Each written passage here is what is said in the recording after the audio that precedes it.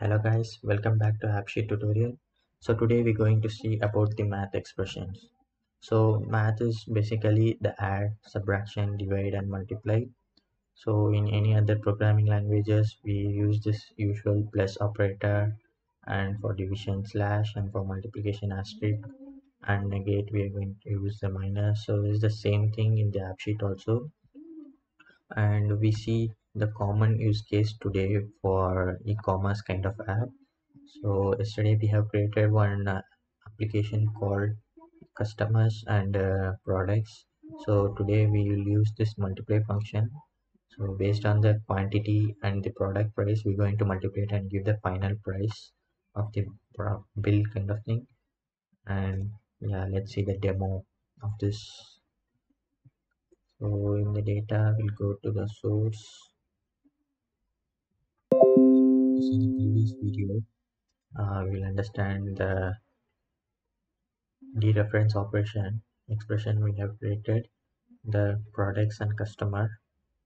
So in this customer going to select about the product and the respective price will get displayed in using dereference. And today we're going to multiply with the selected quantity. So let's add a quantity additional column here. So now we added a new column in the sheet called customer. Let's go to customer and view columns. Here we need to generate regenerate the structures since we have added a new column. Okay. Let's regenerate. So yeah so the quantity the price point number column came here. Now we're going to give a quantity. Uh, 1 2 3 in the number. Then we're going to multiply with this product price value. Okay. And uh, we need to add another column. Price and quantity multiplier is the total amount. Maybe. Yeah. So again we'll regenerate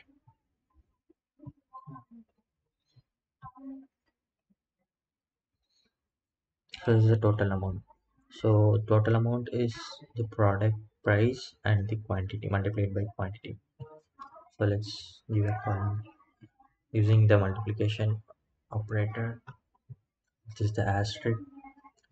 So product price and multiplied by quantity. Right. So let's save this and yeah let's check this out.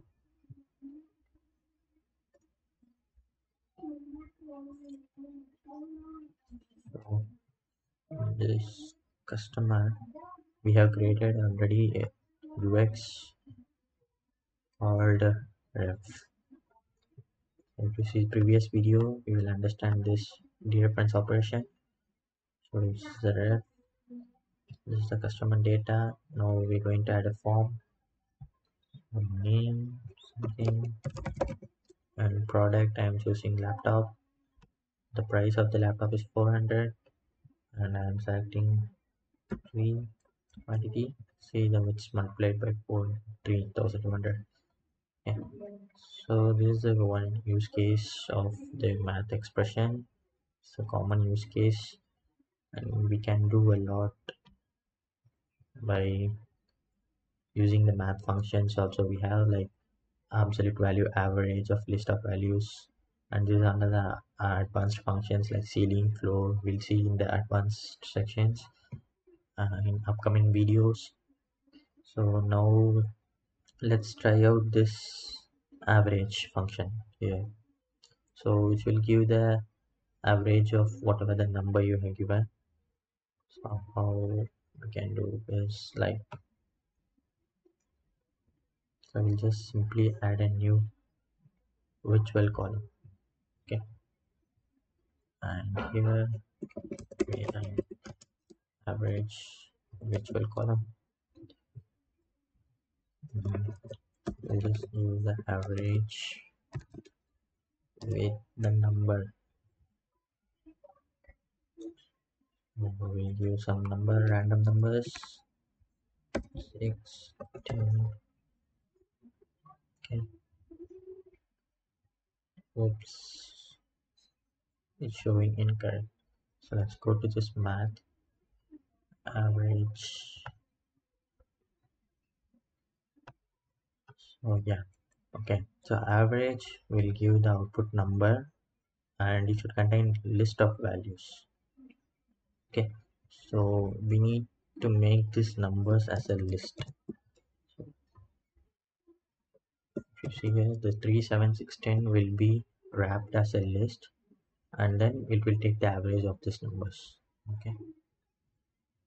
Save then save here. So this is uh, like 3 plus 7 plus 6 plus 10 divided by 4 okay so it means like uh, 20 26 divided by 4 what is the value will come for 26 is around uh, 8 so since 6.5 yeah sorry. So this is the average function on use case and we can do another function called so round is the that's the approximation of the value. So 6.5 is a decimal one. So let's start using i'm wrapping up this with round function so that we'll get a one full number. So then it will give the nearest number for 6.5 so if you see here round is nearest number for 6.5 is 6 okay. Oh, sorry 7 so it's like 6.5 0.5 above is 7 so if you see here this 6.7.0 round value. And then yeah. So others other functions will see in the upcoming videos. Okay thanks for watching. And if you like this video share and subscribe and in to so tomorrow we'll see about the list expressions. So which is the most important expressions we should learn in AppSheet where for every app development. So in AppSheet list expressions is the important one. You okay guys. Thank you. Bye.